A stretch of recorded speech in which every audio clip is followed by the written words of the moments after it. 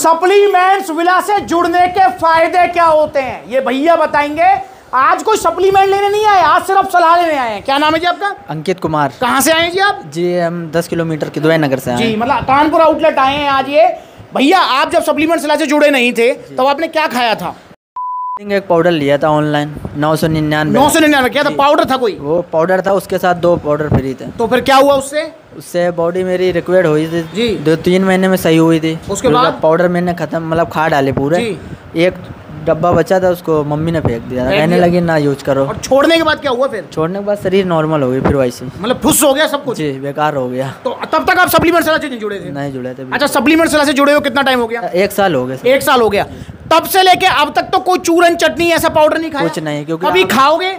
नहीं खाएँगे सर क्योंकि आपकी वीडियो देख देख के मुझे हाँ अगर आप जब आप वो खा रहे थे पाउडर जब आपने लिया था तब आप जुड़ जाते सप्लीमेंट से तब खाते? तो शायद ऐसी बॉडी ना होती। तब ना खाते ना? नहीं नहीं खाते। तो इसलिए सप्लीमेंट्स विला से आपको इसलिए जुड़ना है कि आप भी कोई गलती ना करें सप्लीमेंट्स को लेकर। इसलिए जुड़ो आप। आज को सप्लीमेंट लेने आए भैया कह रहे हैं भैया का वज़न है छप्पन किलो मुझे क्या लेना चाहिए? मैंने बोला भैया पावर मास गेनर लो। इंडिया का नंबर वन मास गेनर। पर चूरन चटनी मत खाओ। और आप भी जुड़ जाओ सप्लीमेंट सिला से। आपको आज सप्लीमेंट नहीं लेना सप्लीमेंट सिला से।